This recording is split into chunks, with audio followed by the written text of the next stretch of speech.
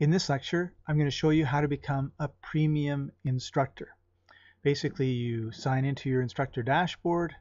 When you get into Udemy, click on Create New, go to New Course, and you won't have a course there probably.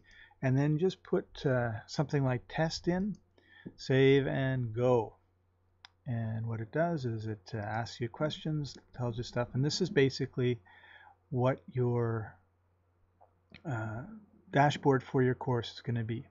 Now what you want to do is go over to prices and coupons and pick a price. Doesn't matter. And it says please complete our premium instructor application found here in order to update your course price.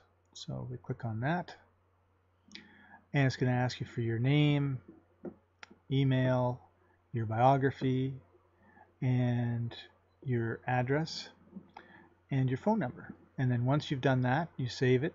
You'll go to the next one. It's going to ask you for your PayPal email address. It's going to ask you to put a picture in. Uh, and it's because you have to have your profile completed correctly and then Udemy has to know how to send you the money. So that's what you do. Once it's done, you're able to charge any price. I'm able to add you to uh, the courses that we're working on together and make sure that you get a split of the revenue, which is what it's all about. It's very easy to do. It's all information that you already have. It's a good idea to spend some time on your biography and some time on your headshot.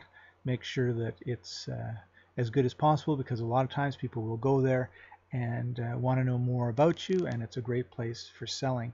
Also here you're able to uh, put in links to uh, LinkedIn, Facebook, Twitter, uh, your website, and all that sort of other stuff. So this is a really good uh, set of links and backlinks to have. All right, so that's it. Very, very simple uh, to become a premium instructor, and uh, then you're able to uh, start making your courses and make some money.